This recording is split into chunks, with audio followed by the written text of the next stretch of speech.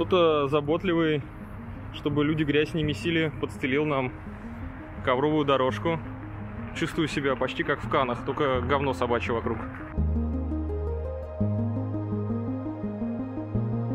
Наша первая достопримечательность на маршруте – это огромные на весь дом муралы по картинам Густава Климта. В данном случае это «Поцелуй».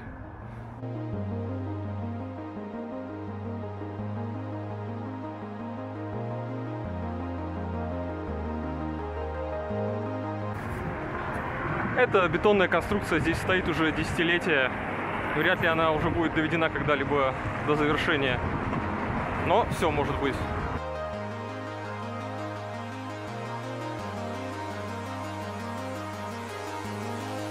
Типичное для такой местности огромное количество шаверм, бистро, а, шашлычных, кофе с собой, пивнушки, напитки 24 часа в сутки. Еще вот эти секции бетонного забора мне очень нравится, как стоят, как будто некая инсталляция. Современное искусство просто. Уходим из Кудрова.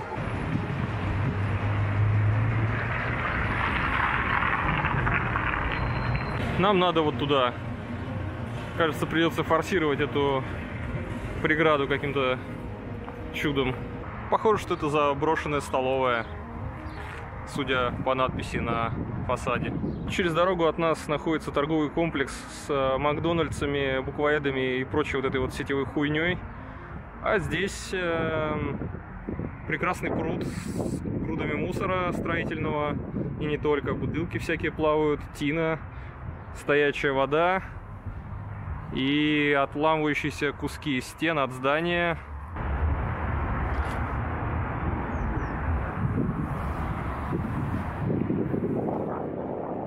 но здесь заботливо закрашивают граффити. Возможно, что-то неприличное написали. Здравствуйте. А подскажите, пожалуйста, что здесь за здание? Потому что мы подошли, смотрим и не понимаем, оно разваливается. С другой стороны, напротив находится Петербургский IT-центр и университет. А здесь его парковка. И она выглядит, ну, немножечко похожа на Луну, потому что здесь довольно-таки много кратеров.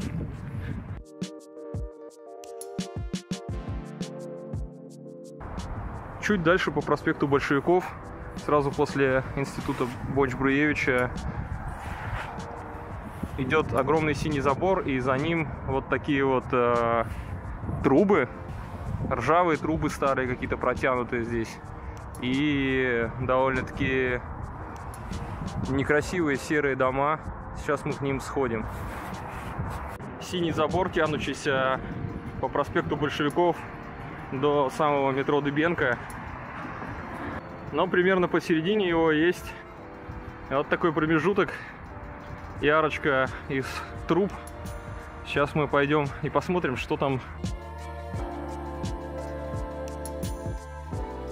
И в этот э, ужасный неухоженный жилой комплекс почему-то КПП со шлагбаумами. Как обычно во всех таких райончиках здесь гаражи в большом количестве, еще гаражи. В одном из углов э, этих гаражей даже заботливо сделана защита от сыкунов. Просто это огромное удовольствие, когда у тебя за домом огромные поля репейников, постелены ковры в луже, бетонные открытые колодцы с канализационными стоками, теплая водичка, там оттуда идет пар. Вообще мне это местечко нравится. Здесь очень безлюдно, тихо, спокойно, умиротворенно даже, я бы сказал. Вот э, на вербах распустились почки.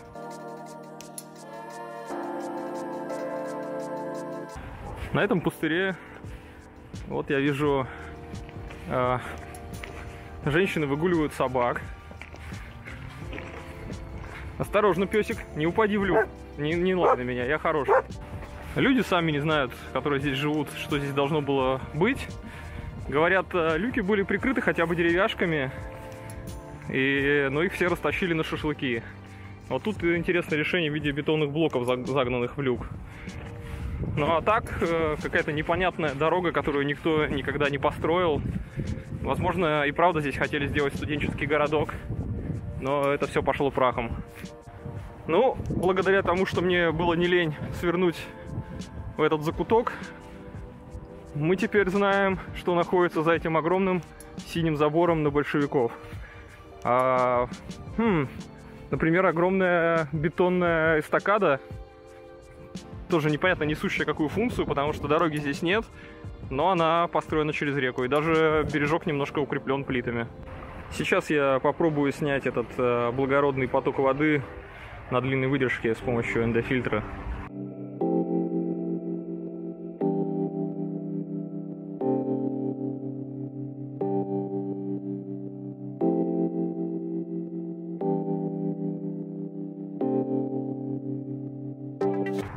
Удивительное дело, мы смогли найти один единственный закрытый деревяшечкой люк, но я не очень уверен, что эта деревяшка способна выдержать вес человека. Внутри огромного недостроенного полукруга дороги находится еще маленький полный круг. По красивой высохшей траве мы пришли в середину круга и сейчас попробуем здесь залететь.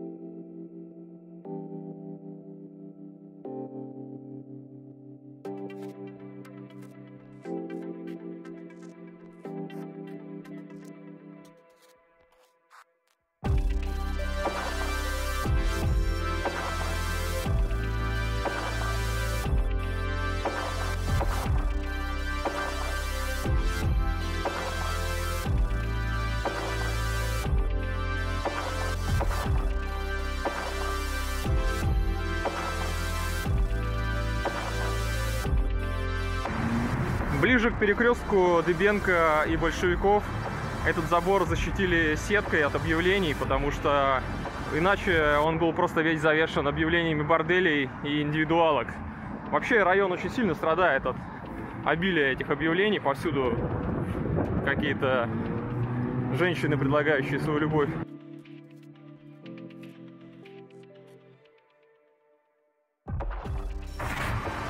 У метро Дыбенко прямо такие огромное количество голубей.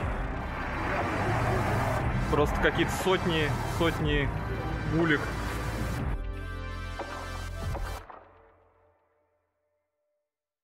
Перед выходом из метро процветает стихийная торговля, как в 90-е.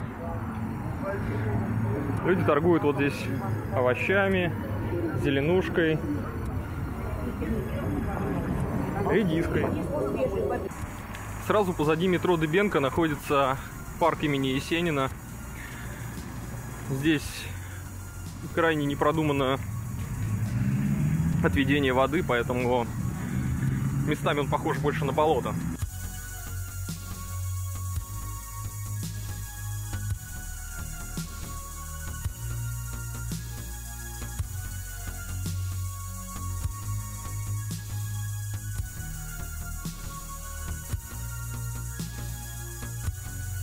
Самом краю парка находятся достаточно унылые аттракционы с колесом обозрения.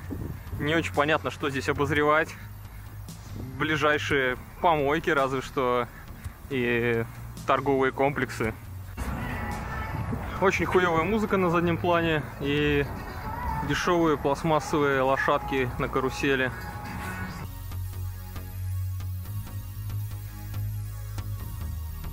Рядом с Невским универмагом здесь вот такие палаточки, где можно прикупить модные халаты, спортивные штанишки, очки без окулиста, И именные ложки еще, это немаловажно.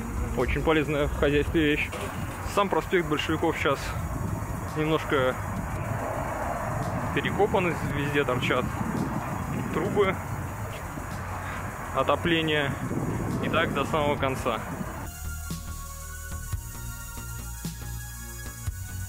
По левую руку метро, проспект Большевиков.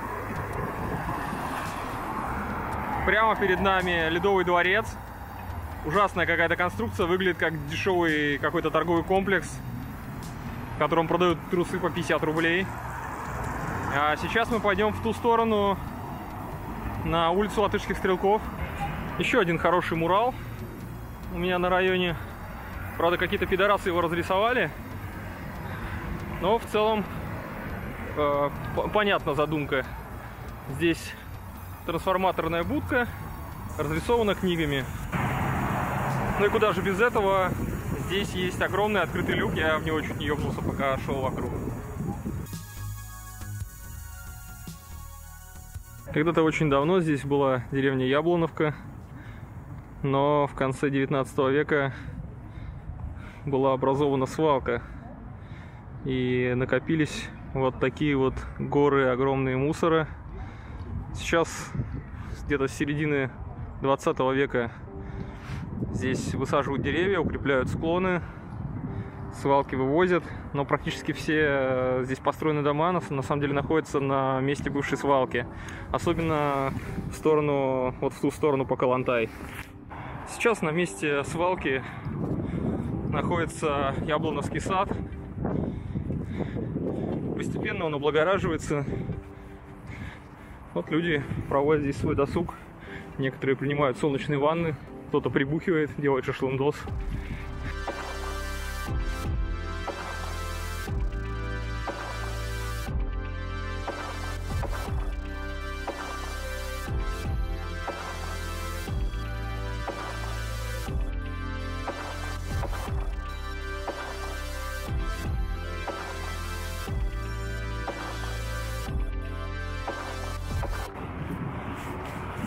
Вот в этом саду среди гор мусора есть какая-то палатка.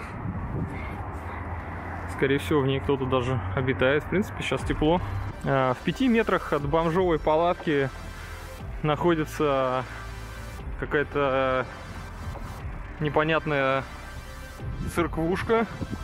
Но и правда в шаговой доступности красивые рельсы и стрелка.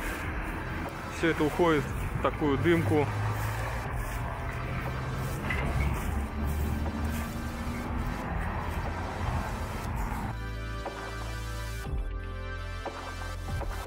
Пришли наконец на Ладожский вокзал.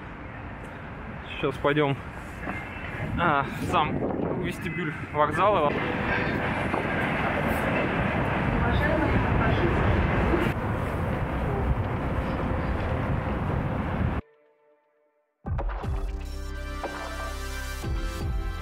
Будем заходить э, на территорию вокзала. Придется, наверное, спрятать все камеры, потому что будем проходить рамки металлоискателя. Возможно, нас даже обыщут, потому что театр безопасности должен играть свой спектакль.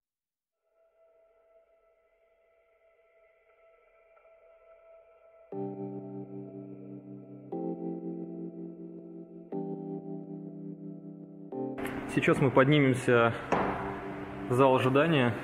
Там обычно можно сделать каких-нибудь интересных, милых кадров. Сейчас прогуляемся и посмотрим.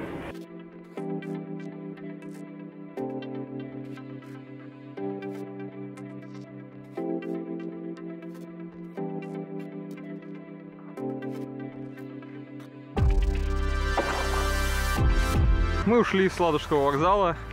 Сейчас прогуляемся к одним из моих любимых заброшенных домиков на энергетиков. Но мы зайдем из-под Сначала мимо вот этой небольшой подстанции и рельсов новых пройдем к тем к тому месту, где старые рельсы, разобранные и красивый железнодорожный мост.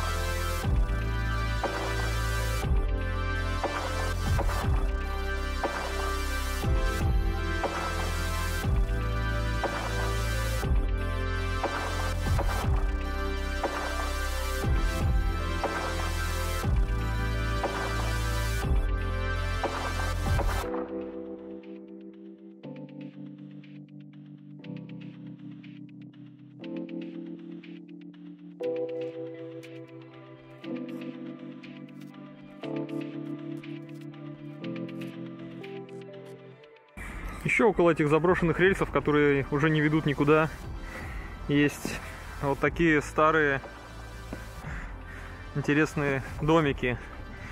Так называемые немецкие коттеджи, скорее всего, их строили немецкие пленные после войны.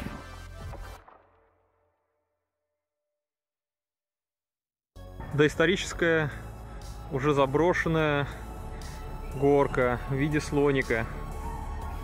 Таких сейчас уже не найти. Настоящий артефакт древности. Что-то они нас пугаются. Не хотят, да, с нами это дружить.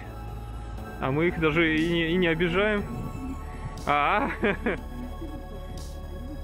Да у нас нет косточек с собой. Да, построены эти домики на самом деле основательно, даже при том, что они заброшенные и очень уставшие. Сделать ремонт и можно, в принципе, жить. А в этих уже вряд ли.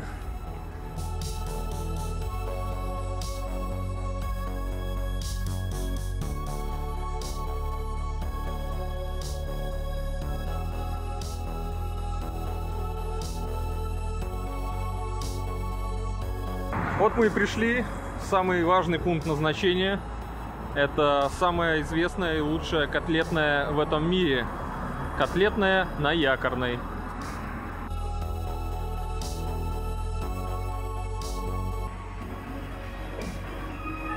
Покушать хотите? Давайте соляночку тогда. Ира! Да я здесь, Вера, я Вера, Вера. Вера. Да, Пожалуйста. здравствуйте. Салатики. Да.